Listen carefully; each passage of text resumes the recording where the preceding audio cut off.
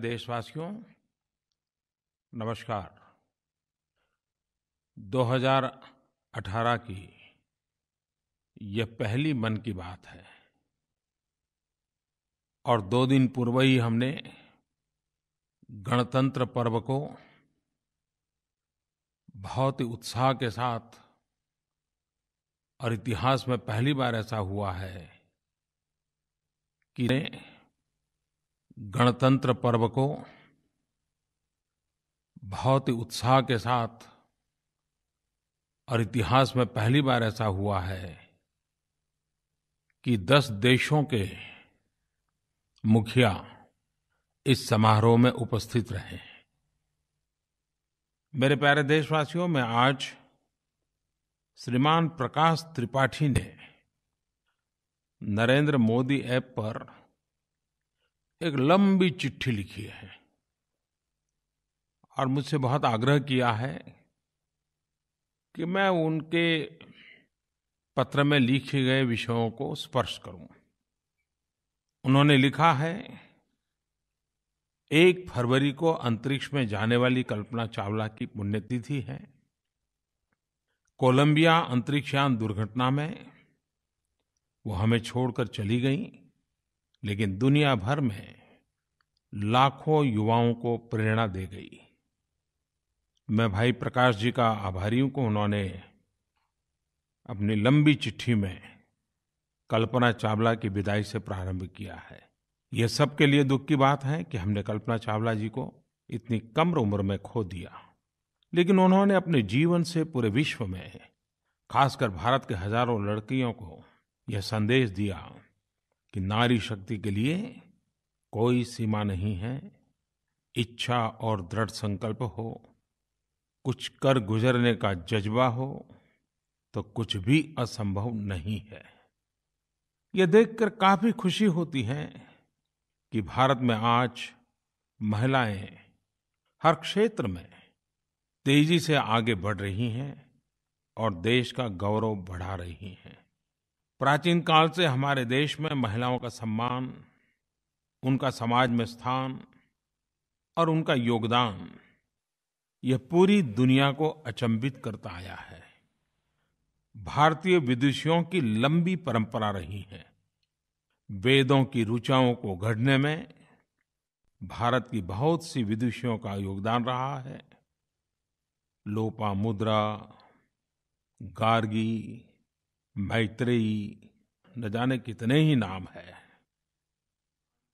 आज हम बेटी बचाओ, बेटी पढ़ाओ की बात करते हैं, लेकिन सदियों पहले हमारे शास्त्रों में स्कंद पुराण में कहा गया है, दशपुत्र समाकन्या, दशपुत्रान प्रवर्धयन, यत फलम लभते मर्त्य तत् लभ्यम कन्या ईय कया। अर्थात, एक बेटी दस बेटों के बराबर है। दस बेटों से जितना पुण्य मिलेगा, एक बेटी से उतना ही पुण्य मिलेगा।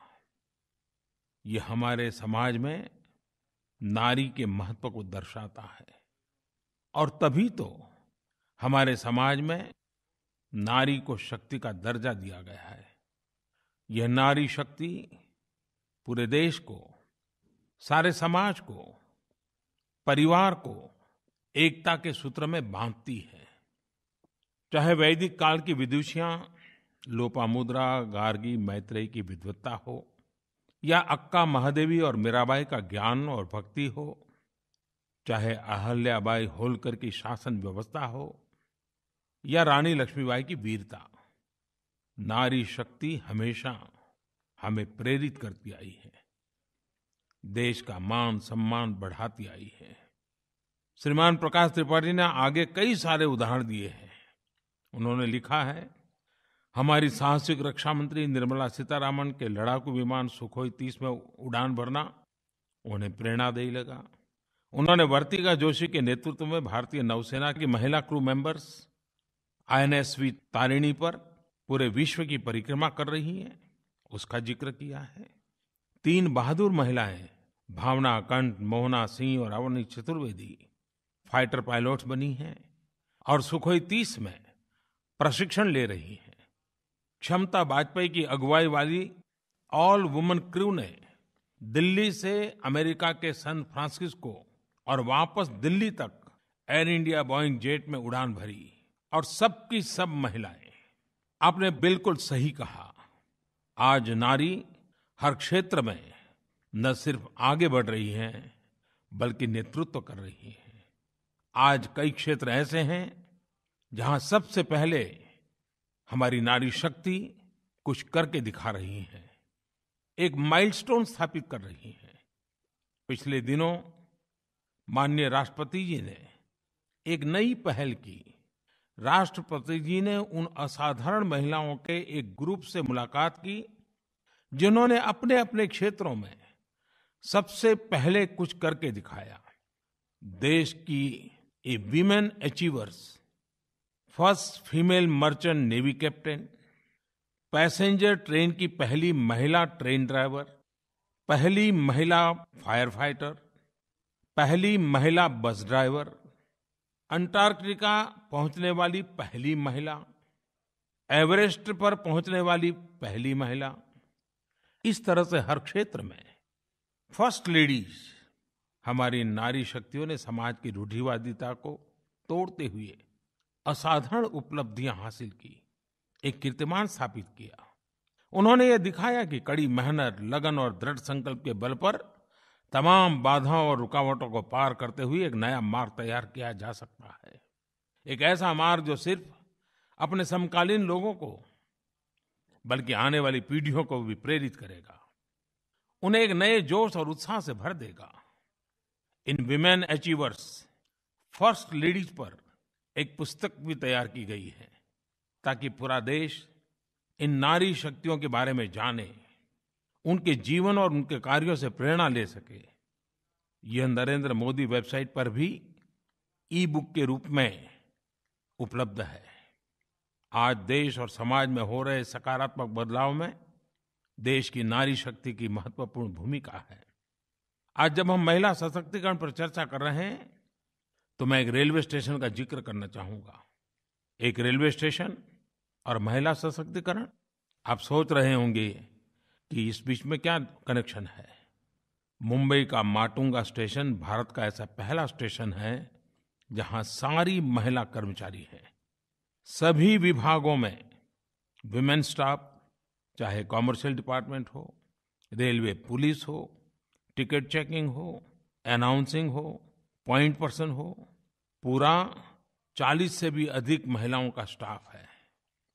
इस बार बहुत से लोगों ने गणतंत्र दिवस की परेड देखने के बाद ट्विटर पर और दूसरे सोशल मीडिया पर लिखा कि परेड की एक मुख्य बात थी बीएसएफ बाइकर कंटीजेंट जिसमें सबकी सब महिलाएँ भाग ले रही थी, साहसपूर्ण प्रयोग कर रही थी।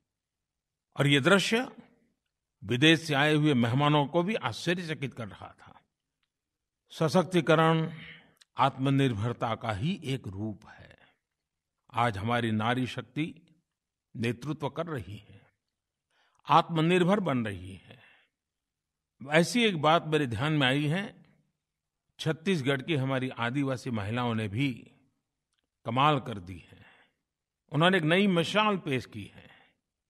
आदिवासी महिलाओं का जब ज़िक्र आता है, सभी के मन में एक निश्चित तस्वीर उभर कर आती है, जिसमें जंगल होता है, पगडंडियाँ होती हैं उन पर लकड़ियों का बोझ सिर पर उठाए चल रही महिलाएँ, लेकिन छत्तीसगढ़ की हमारी आदिवासी नारी, हमारी इस नारी शक्ति ने देश के सामने एक नई तस्वीर बनाई है।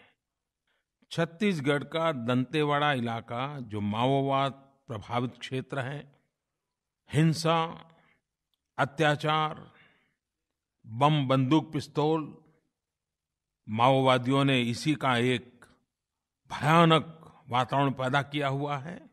ऐसे खतरनाक इलाके में आदिवासी महिलाएँ ई रिक्शा चलाकर आत्मनिर्भर बन रही हैं। बहुत ही थोड़े कालखंड में कई सारी महिलाएँ इससे जुड़ गई हैं और इससे तीन लाभ हो रहे हैं। एक तरफ़ जहाँ स्वरोजगार ने उन्हें सशक्त बनाने का काम किया है, वही इससे माओवाद प्रभावित इलाके की तस्वीर भी बदल रही है। और इन सब के साथ इससे पर्यावरण संरक्षण के काम को भी बल मिल रहा है। यहाँ के जिला प्रशासन की भी सराहना करता हूँ। ग्रांट उपलब्ध कराने से लेकर ट्रेनिंग देने तक जिला प्रशासन ने इन महिलाओं की सफलता में एक महत्वपूर्ण भूमिका निभाई है।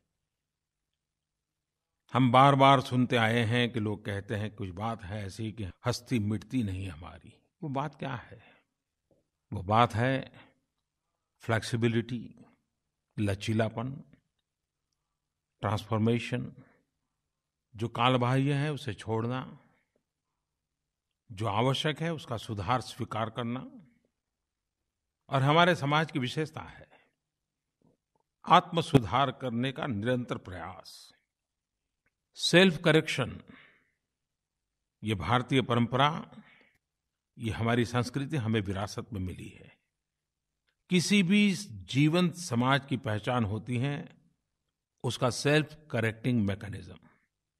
सामाजिक कुप्रथाओं और कुरीतियों के खिलाफ सदियों से हमारे देश में व्यक्तिगत और सामाजिक स्तर पर लगातार प्रयास होते रहे हैं। अभी कुछ दिन पहले बिहार ने एक रोचक पहल की। राज्य में सामाजिक कुरीतियों को जड़ से मिटाने के लिए तेरह हज़ार से अधिक किलोमीटर की विश्व की सबसे लंबी मानव श्रृंखला ह्यूमन चेन बनाई गई। इस अभियान के द्वारा लोगों को बाल विवाह और दहेज प्रथा जैसी बुराइयों के खिलाफ जागरूक किया गया। दहेज और बाल विवाह जैसी कुरीतियों से पूरे राज्य ने लड़ने का संकल्प लिया। बच्चे, बुज़ुर्ग जोश और उत्साह से भरे युवा, माताएँ, बहनें, हर कोई अपने आप को इस जंग में शामिल किए हुए थे। पटना के ऐतिहासिक गांधी मैदान से आरंभ हुई मानव श्रृंखला राज्य की सीमाओं तक अटूट रूप से जुड़ती चली गई। समाज के सभी लोगों को सही मायने में विकास का लाभ मिले। इसके लिए ज़रूरी है कि हमारा समाज इन कुरीतियों से मुक्त हो।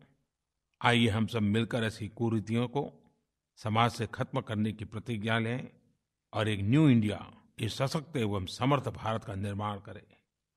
मैं बिहार की जनता, राज्य के मुख्यमंत्री, वहाँ के प्रशासन और मानव श्रृंखला में शामिल हर व्यक्ति की सराहना करता हूँ कि उन्होंने समाज कल्याण की दिशा में इतनी विशेष एवं व्यापक पहल की। मेरे प्यारे देशवासियों मैसूर कर्नाटक के श्रीमान दर्शन ने माय गौर पर लिखा है, उनके पिता के इलाज पर महीने दवाइयों का खर्च छह हज़ार रुपये होता था। उन्हें पहले प्रधानमंत्री जन औषधि योजना के बारे में जानकारी नहीं थी, लेकिन अब जब उन्हें जन औषधि केंद्र के बारे में जानकारी मिली और उन्होंने वहाँ से दवाइयाँ खरीदी तो उनका दवाइयों का खर्च पचहत्तर प्रतिशत तक कम हो गया। उन्होंने इच्छा जताई है कि मैं इसके बारे में मन की बात कार्यक्रम में बात करूँ, ताकि ज़्यादा से ज़्यादा लोगों तक इसकी जानकारी पहुँचे और वे इसका लाभ ले सकें। पिछले कुछ समय से बहुत लोग मुझे इस विषय में लिखते रहते थे, बताते रहते हैं। मैंने भी कई लोगों के वीडियो सोशल मीडिया पर भी देखे हैं, जिन्होंने इस योजना का लाभ लिया है। और इस तरह की जानकारी जब मिलती है तो बहुत खुशी होती है, एक गहरा संतोष मिलता है। और मुझे यह भी बहुत अच्छा लगा कि श्रीमान दर्शन जी के मन में ये विचार आया कि जो उन्हें मिला है, वो औरों को भी मिले। इस योजना के पीछे उद्देश्य है हेल्थ केयर को एफोर्डेबल बनाना और ईज ऑफ़ लिविंग को प्रोत्साहित करना। जन औषधि केंद्रों पर मिलने वाली दवाएँ बाज़ार में बिकने वाली ब्रांडेड दवाइयों से लगभग 50 प्रतिशत से 90 प्रतिशत तक सस्ती है। इससे जन सामान्य विशेषकर प्रतिदिन दवाएँ लेने वाले वरिष्ठ नागरिकों की बहुत आर्थिक मदद होती है, बहुत बचत होती है। इसमें खरीदी जाने वाली जेनरिक दवाएँ वर्ल्ड हेल्थ ऑर्गेनाइजेशन के तय स्टैंडर्ड के हिसाब से होती हैं। यही कारण है कि अच्छी क्वालिटी की दवाएँ सस्ते दाम पर मिल जाती हैं। आज देश भर में तीन हज़ार से ज़्यादा जन औषधि केंद्र स्थापित किए जा चुके हैं। इससे न सिर्फ़ दवाइयाँ सस्ती मिल रही हैं, बल्कि इंडिविजुअल एंटरप्रेन्योर्स के लिए भी रोज़गार के नए अवसर पैदा हो रहे हैं। सस्ती दवाइयाँ प्रधानमंत्री भारतीय जन औषधि केंद्रों और अस्पतालों के अमृत स्टोर्स पर उपलब्ध हैं। इन सब के पीछे एकमात्र उद्देश्य है देश के गरीब से गरीब व्यक्ति को quality and affordable health service उपलब्ध करवाना, ताकि एक स्वस्थ और समृद्ध भारत का निर्माण किया जा सके। मेरे प्यारे देशवासियों, महाराष्ट्र से श्रीमान मंगेश ने नरेंद्र मोदी मोबाइल ऐप पर एक फ़ोटो शेयर की। वो फ़ोटो ऐसी थी कि मेरा ध्यान उस फ़ोटो की ओर खींचा चला गया।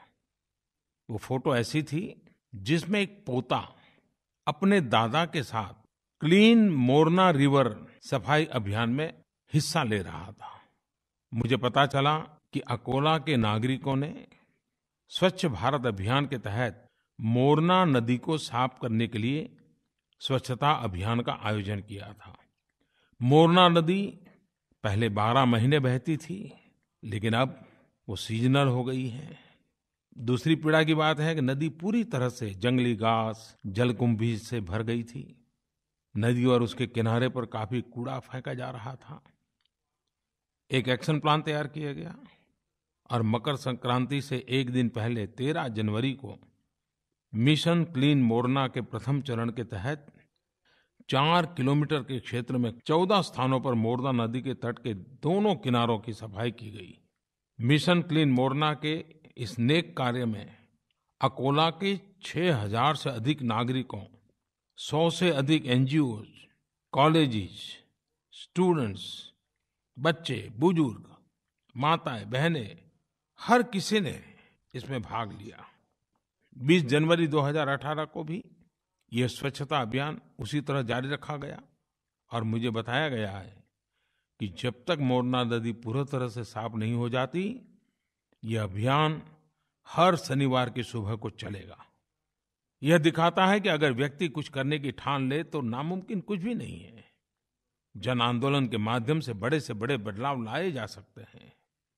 मैं अकोला की जनता को, वहाँ के जिला एवं नगर निगम के प्रशासन को इस काम को जन आंदोलन बनाने के लिए जुटे हुए सब नागरिकों को, आपके इन प्रयासों को